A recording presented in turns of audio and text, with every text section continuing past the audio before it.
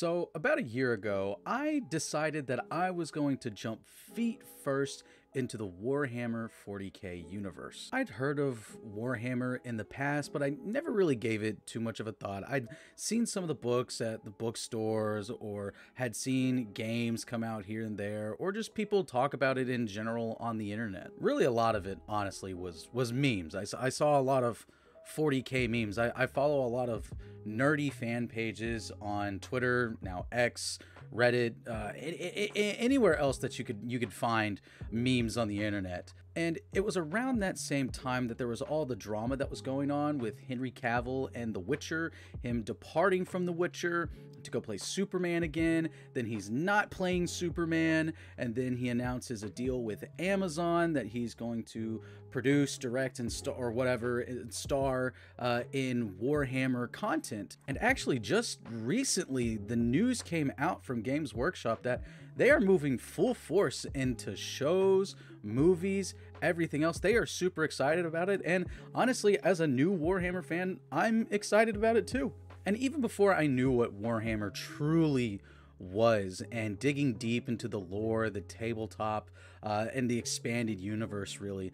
Um, I was excited for the show because I'm a Henry Cavill fan and I wanted to know more about this universe. I just wanted to know more and I was curious about the tabletop. The purpose of me making this video is if you find yourself in a similar place, if you're like me a year ago and you really didn't know how to delve deep into Warhammer. And I don't just mean one aspect of it. I wanted to know everything and I wanted to do everything that was involved with Warhammer that eventually built up to about two weeks ago with my own army fighting my first ever battle on the tabletop. So again, if you're like me just a year ago, you didn't know where to start and where to begin, I'm to walk you through my beginner's journey. This is a beginner's guide for beginners, really. So if you're a beginner like me and I'm still a super big novice into all of this stuff,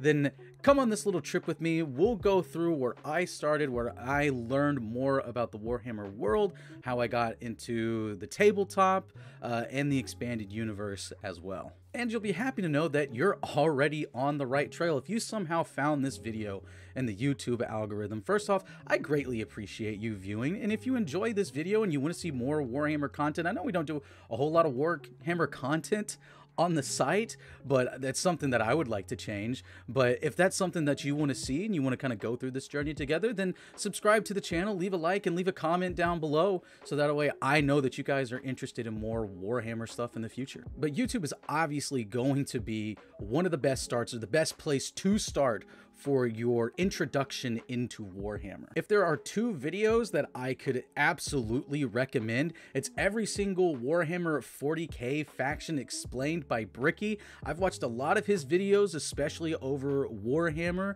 He's and his videos are super hilarious. He's a funny dude and they're entertaining. They're super long videos. They're almost an hour a piece, but he gives great almost dumbed down introductions of all the factions of Warhammer. And it gives you a really good picture of this universe that you are jumping into. All right, so we're going to put a pin in the YouTube part of our journey. We'll come back to YouTube eventually, so don't worry. We'll get to that in due time. Now, there's a high chance that you, the person watching this video, love video games.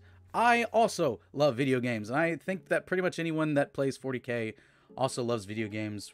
If you're a nerd, you usually like playing video games. And if you have a few extra bucks to spare and you're not ready to jump into the tabletop just yet, then there are a plethora of Warhammer licensed video games for you to play. And some of these, they don't cost too much. You can find some as low as maybe five, six, ten dollars. Some do press up a little bit more higher on the spectrum in that 50 to 60 dollar range. The first one that I ever played because it came out around the time that I was really starting to be interested in Warhammer was Boltgun. Bolt Gun is a Doom style boomer shooter in the Warhammer universe. Uh, it's it's just a lot of mindless fun and it's a good introduction uh, to the world. It, it was an absolute blast. It was one of my favorite games of 2023. Another game that I absolutely loved and is going to have a sequel coming out this September is Space Marine. This is an excellent introduction, in my opinion. You get to play as a Space Marine. It's a third person action game. It feels a lot like Gears of War, honestly, in my opinion. That's kind of the vibe that I got from it. But just a super awesome, super fun game that, again,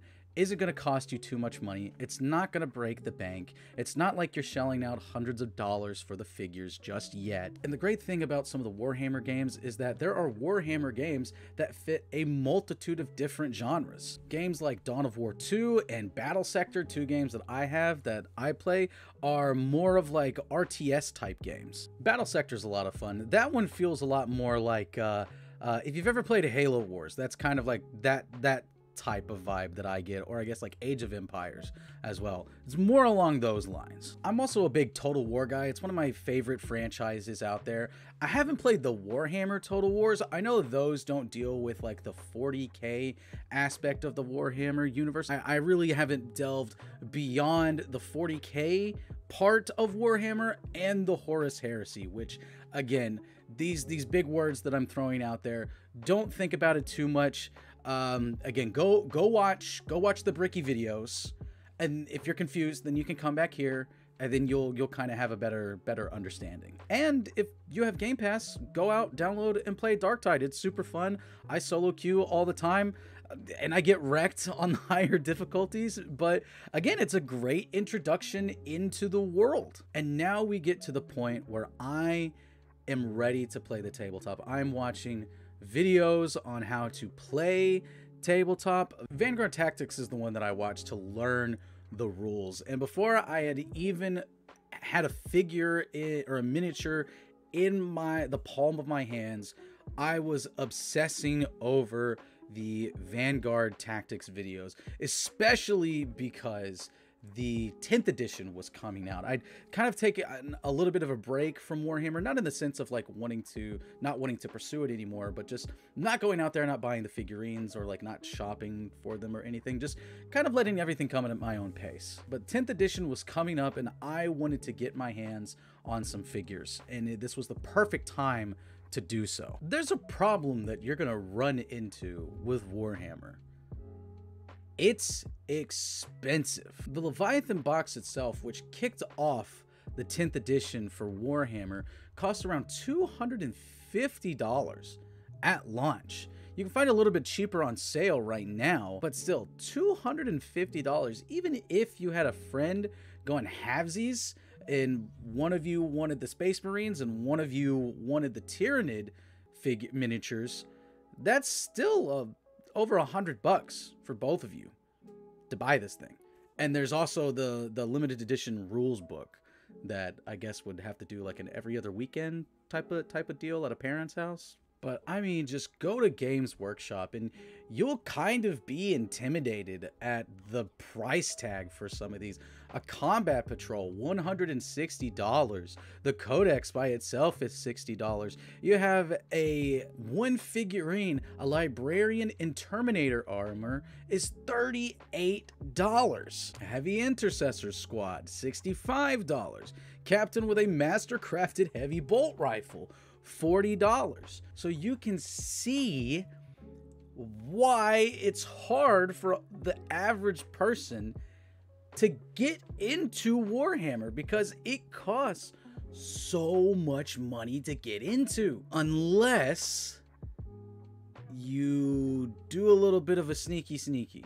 Now let me just come right out and say this. I am not condoning piracy in any shape, form, or fashion. I am simply telling you all that there are alternatives to fighting. So let me introduce you all to the exact same model 3D printer, resin 3D printer that I currently have out in my garage. There are better versions of this that have come out as you can clearly see uh, down here. Better build plates, uh, auto leveling um, in this Mars 4, which I, I need auto leveling in my life, definitely. But as you can see, as of right now, this exact printer, the exact same printer that I have, mind you, is going for $200. For $50 less than the Leviathan box, you can have a 3D printer. And now I'm not going to tell you where you can find the STL files. That's something that I had to find on my own. I had to figure out where to find those files, but I promise you, if you dig deep enough, you will be able to find it. And when you do, it's going to change your life because a lot of the stuff comes free. Now, yes, I have bought some in the past to help flesh out some of my armies, and Games Workshop has really cracked down on the um, the uploading of these STL files. And there's a lot of files that I've printed that I've gone back and thankfully I download I at least downloaded them. I haven't printed them, but I have I've downloaded them and have them saved to a jump drive because they are no longer on the website that I downloaded them on. And it's it's a public website where free stuff abounds. You just need to know the language and the lingo to just kind of skip around and figure out where to find it all. And I've done 3D printing in the past. You can probably see it behind me. I have an Ender Ender 3 filament printer that has not been running in a while. It it just stopped working uh, a while back, and I've, I've just never got it fixed. So it's just kind of a just kind of like a big paperweight behind me right now. And I did have an old resin printer, but I wanted to go with kind of like a newer one, bit of an upgrade. Um, and I got this exact one here, and it's absolutely changed my life. And again, I, I knew what I was doing when it came to 3D printers. I used this printer behind me and my other older resin printer. Uh, I, I, can't remember which one that was. If I've forgotten it, but I used those for my Dungeons and Dragons figures and terrain and, and, and everything else. And, th- and those printers, for what I used them for, worked awesome. And it's the same thing with this printer right here with the Warhammer miniatures. They have come out absolutely stunning. They look awesome. The detail, it's all there. They just they look so beautiful and awesome. I've said this in the past. If Games Workshop would put the STL files out there for purchase, I'd go straight to them and, and purchase it. Like I, I honestly would. It's just way too expensive. It is more cost effective for me to buy a $200 resin printer and then buy a $20 bottle of resin every month and a half. Really? The resin lasts a long time, even with all the failures that I've had. I've printed two 1,000 point armies with with uh, units that I haven't even used, and all the failures that I've had. I just recently got in the mail my fourth bottle of resin. And so I, I found my sources to find the STL files. I got my printer in, ran a couple of test prints, downloaded everything, and started printing like a madman. The next big challenge for me was painting. I'm not really artistic, and there's miniatures that I'm proud of. I think they look good. Some I think could probably be better. I'm not too happy with the couple Tyranids that I've painted. I'm happy. I'm really happy with how some of my uh, Space Marines came out with. I chose Ultramarines just because I was trying to remake the Leviathan box. I know, pretty pretty basic. It's like the it's like the pumpkin spice of Warhammer 40k, going with the Ultramarines as one of your first armies. But but give give me a break here, people. All throughout this past summer and into the fall, and as we got closer to the holidays, that's what I spent a lot of my free time doing. If I wasn't doing something with Vendetta, not hanging out with my family, um, or doing something for my regular day job, uh, I was painting figurines or I was printing uh, the miniatures. And I, and, and I will fully admit, I have bought a couple of Games Workshop published uh, miniature sets, especially for the Chaos Marines. That's one of the next factions that I'm working on. There was just some miniatures that I couldn't find uh, through my connections to STL files, and so and I just I really wanted to do Chaos Marines. I think they're so super cool. They're they're kind of the main baddies uh, in in Boltgun that I talked about earlier. And so I just really wanted to see them on the tabletop. And so I was okay with doing that because I got I got some Christmas money. So I was like, hey, that's just what I'll spend it on.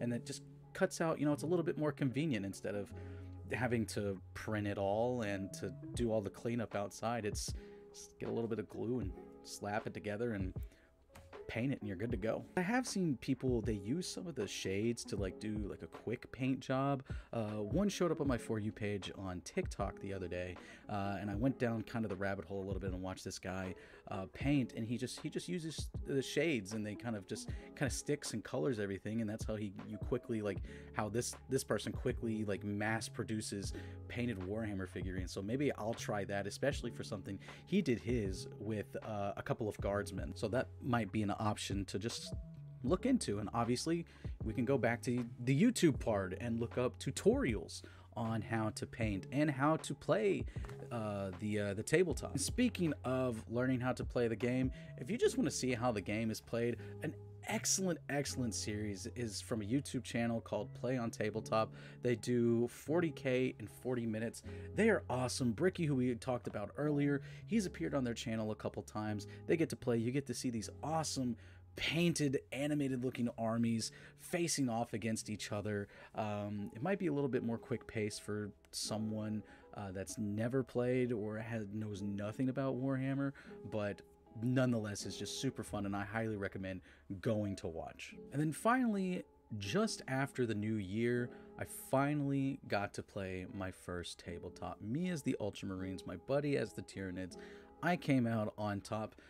Wasn't like a uh, wasn't a blowout win by any means, and we both honestly really didn't care. It, this was just more of a feel out and trying to figure out how to play the game. And again, man, we just we had so much fun, such a blast. It's been such an awesome journey to get introduced into this world. I hope this video made sense to all of you. Again, this is just me kind of explaining my journey through it all, how I got into Warhammer, how I went from no knowledge whatsoever to being able to play on the tabletop and to understand uh, a lot of the inside jokes, jokes and memes that I see on Twitter from from time to time. Anyway, guys, thank you so much for watching. If you enjoyed this video, make sure to leave a like and subscribe to the channel.